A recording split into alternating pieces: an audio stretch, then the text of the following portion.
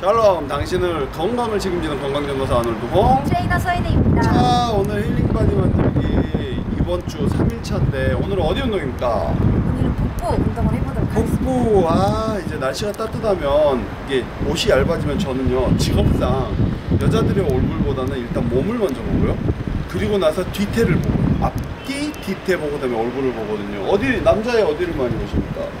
가슴과 복부? 아, 가슴, 가슴. 아, 예. 남자들도 가슴이 많이 처지는 것 같은데 특히 배가 나오면 어떤 옷을 입어도 어울리지 않더라고요. 그럼 오늘 어디를 힐링해야 되는 겁니까? 복부 아, 해보도록 복부 운동. 알겠습니다.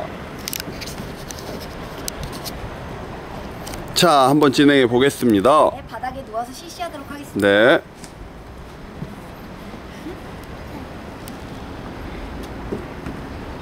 다리는 편안하게 90도 각도로 세워주신 상태에서 시작하시면 될 것 같아요. 네. 상체를 살짝 돌려서 복부에 힘이 들어갈 수 있도록 해주시고 팔을 들어서 내 무릎 옆에 올 수 있도록 해주시면 될 것 같아요. 이 네. 상태에서 다리를 하늘로 쭉 동시에 펴주시면 되겠습니다. 이렇게 해서 10초 정도 버텨주실 건데요. 하나, 둘, 셋, 넷, 다섯, 여섯, 일곱, 여덟, 아홉. 내리실 때는 다리 먼저 내리고 상체를 편안하게 내려주시면 될 것 같아요. 네. 이렇게 10초씩 3세트 정도나 조금 더 실시해주시면 복부 운동에 도움이 되도록 하겠습니다. 알겠습니다. 안녕. 선생님.